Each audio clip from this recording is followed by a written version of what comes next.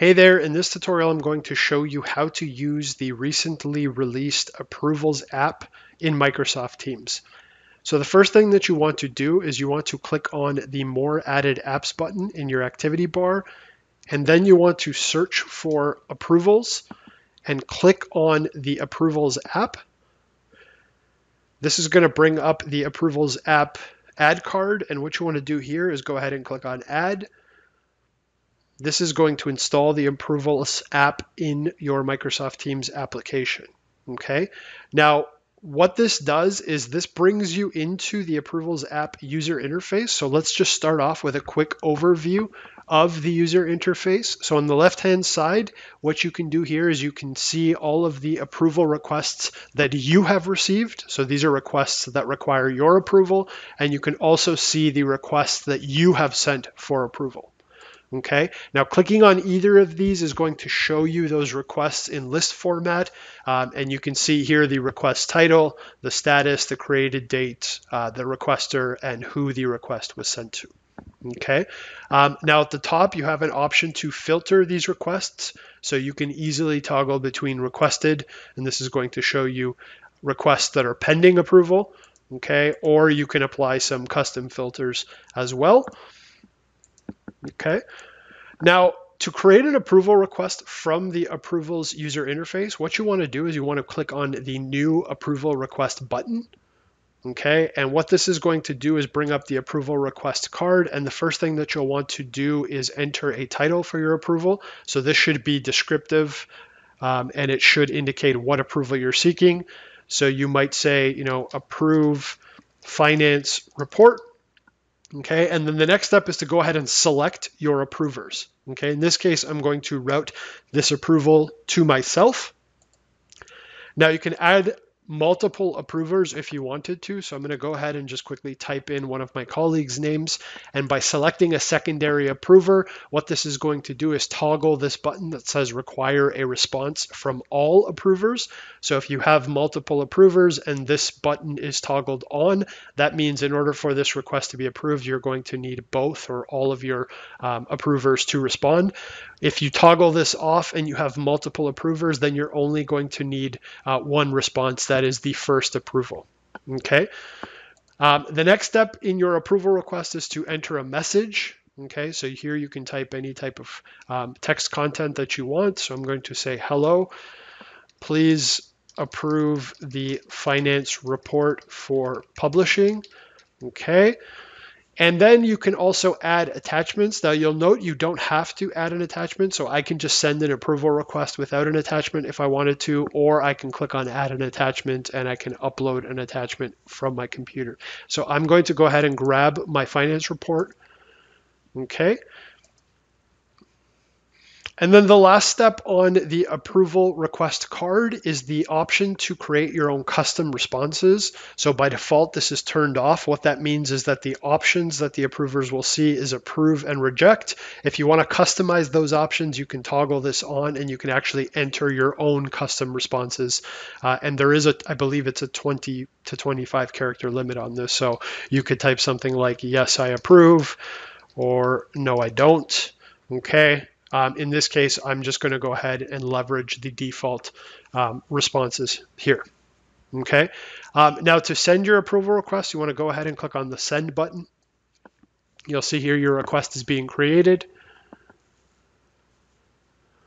Okay. Now you'll notice on the sent requests, that request is listed at the top of the list and the status is requested. If I toggle onto the received view, I can see here that this approval request is now at the top of my list. And if I click on it, it's going to bring up the approval request card. Okay, so right off the top, you can see that the status is requested. You can see the title and the message. Okay, you can see the attachment, and I can click into this attachment and it's going to open in SharePoint Online. And you can see that this uh, request is pending responses from the two individuals that were listed. Okay, you can also see who requested this approval. Okay, and at the bottom of the request card, you have the ability to put in comments. So I'll go ahead and say the report looks good, for example, and I can see my options. I can choose to approve this, I can choose to reject it, or I can cancel this request. You can also access your approval requests from the Microsoft Power Automate dashboard. So logging into flow.microsoft.com, you can see here that the approval request is pending. It's displayed as a card and I can click on this to bring up the approval request card.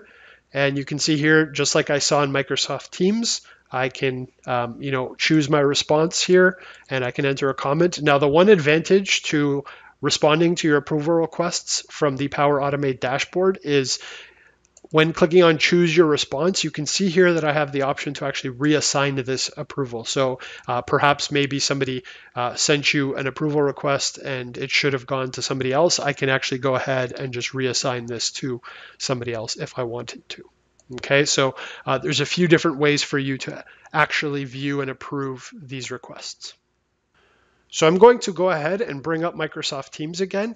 The other thing that I want to call out is you'll also notice that when you receive an approval request, it also throws a notification in your activity feed. So you can see here Luigi Iacobellis sent you a request and I can click on that notification and again it's going to bring up the approval card. Okay, um, I'm going to go ahead and approve this request.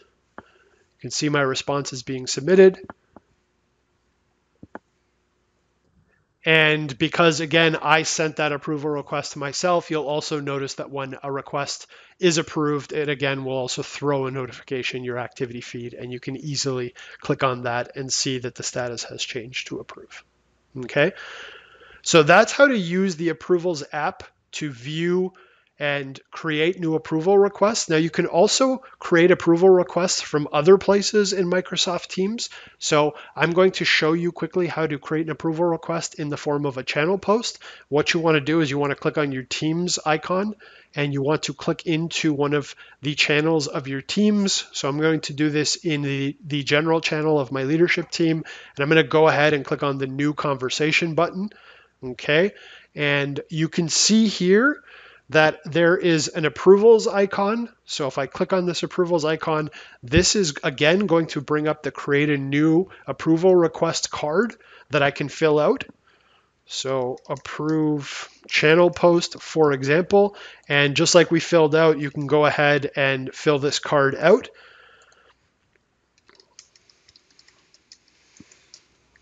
Okay, and I'm going to go ahead and send this.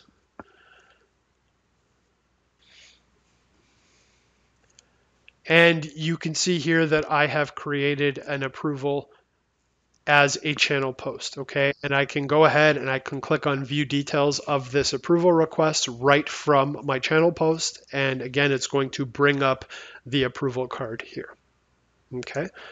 Now, you can also initiate approval requests in one other way in Microsoft Teams, and that is through chats. So I'm gonna go ahead and click on the chat icon okay? And I am going to pull up a chat with my colleague Diego, okay? And just like we saw with the channel post, I can see at the bottom of the compose box, I also have the approvals icon here. And again, I can click on that approvals icon, fill out the card, and send an approval in a chat message, okay?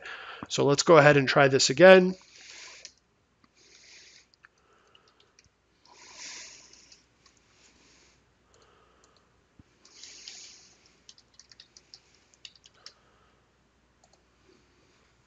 And you can see now that again, I've created this approval card right in this chat and I can click on view details to actually bring up the card.